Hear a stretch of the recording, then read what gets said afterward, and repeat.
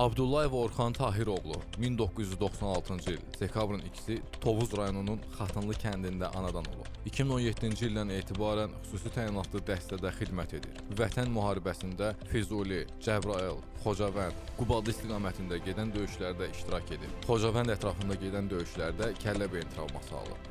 Şücaətə görə, Füzulinin azad olunmasına görə, Cəbrayılın azad olunmasına görə medalları ilə təltif edilir. İlk döyüş tapşırığımız Qaraxanbəyli kəndində olub, Füzuli rayonunun.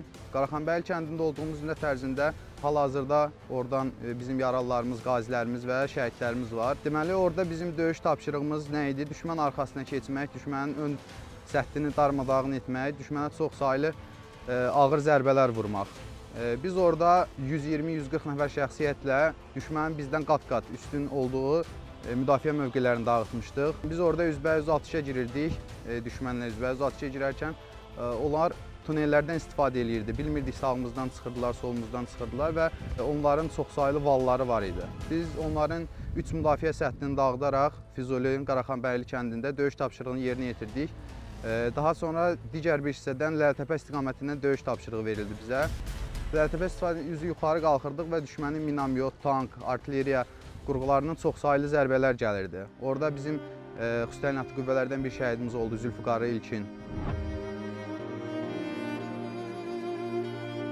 Allah qəni-qəni rəhmət eləsin və bir neçə qazilərimiz oldu, yaralılarımız oldu və biz yenə də orada da düşmənin bizə vurduğu zərbələrə baxmayaraq dayanmadıq və ancaq irəli getdik və e, bu döyüş tapşırığını da yerinə yetirmiş olduq. Daha sonra biz orada e, bir neçə gündən sonra e, bütün döyüşlərimiz dəstə şəklində, tabır şəklində olurdusa, orada bizə qruplar şəklində döyüş tapşırığı verildi ki, hər bir qrupun e, qruplarda 10-12 nəfər, 13 nəfər şəxsiyyət olurdu. Hər qrupun öz döyüş tapşırığı var idi və hər qrup bir yüksəkliyi almalı idi. Biz orada mənim döyüş yoldaşlarımın hal-hazırda burada xidmətdə olanlar var. Baş çavuş Məcdov Elçin, baş çavuş Ağayev Toğrul və mən. Rəhmətlik Vəliyev Elyar var idi. Gizir Vəliyev Elyar Vətən müharibəsi qəhrəmanı. O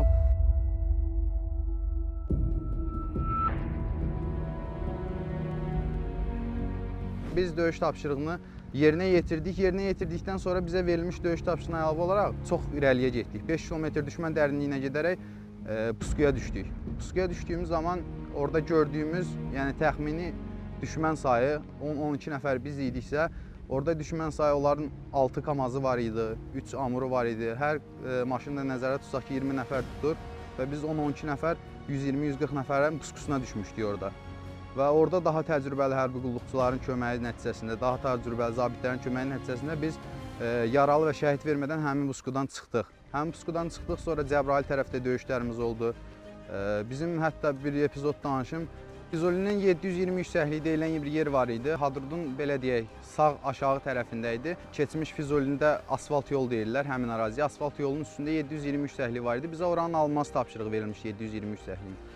107-120 yüksəkliyin alınması tapşırığını yerinə yetirərkən e, düşmən bizə təsəvvür edin canlı şəxsiyyətin üzərinə e, qırıcı helikopterlər qaldırırdı. Yəni helikopter dağın arxasından qalxdı, bizə atış elədi və yəni hətta helikopter orada helikopterə tutulan avtomatları görərkən helikopter qorxusundan qaçdı.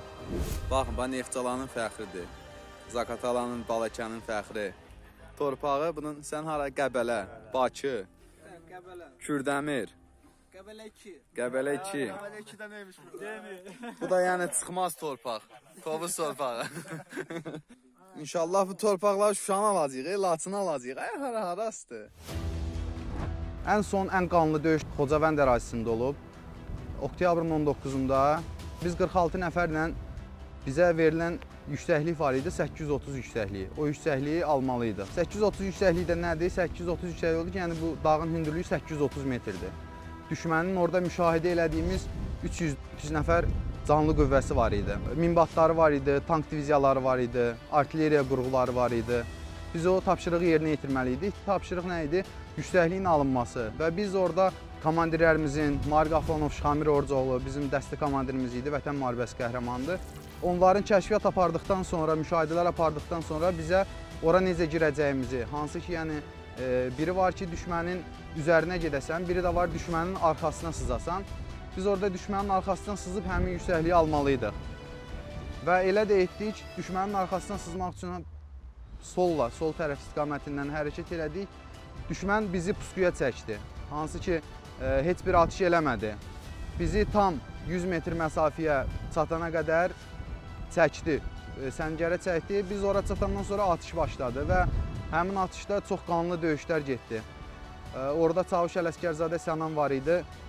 Minamyot qəlpəsi onun qoluna aparmışdı. Öz, yəni o qədər mərd, o qədər gi- igid, o qədər cəsur bir hərbi qulluqçu idi ki, e, yəni öz qolunu götürüb cibinə qoyub gəlmişdi. 46 nəfərdən hardasa 6 nəfər normal sağlam insan həmin döyüşlərdən çıxdı və həmin döyüş ora rəsmən bir cəhənnəm idi.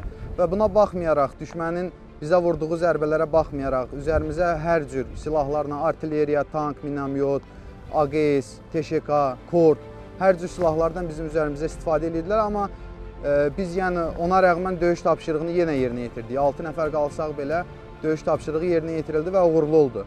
Və həmin döyüş tapşırığından arxaya qayıdarkən, geriyə çəkilərkən e, baş çavuş Mehdiyev Surxay Zülfüoğlu var idi. Şəhidimizdir, çox qəhrəmanımızdır, həqiqətən qəhrəmanımızdır. O insan mənim yanımda şəhid olub. Yəni arxaya çəkilərkən bir-birimizi dəstəkləyə-dəstəkləyə çıxırdıq. 2 nəfər dəstəkləyirdi, 2 nəfər çəkilirdi arxaya. Və 2 nəfər dəstəkləyib 2 nəfər çıxan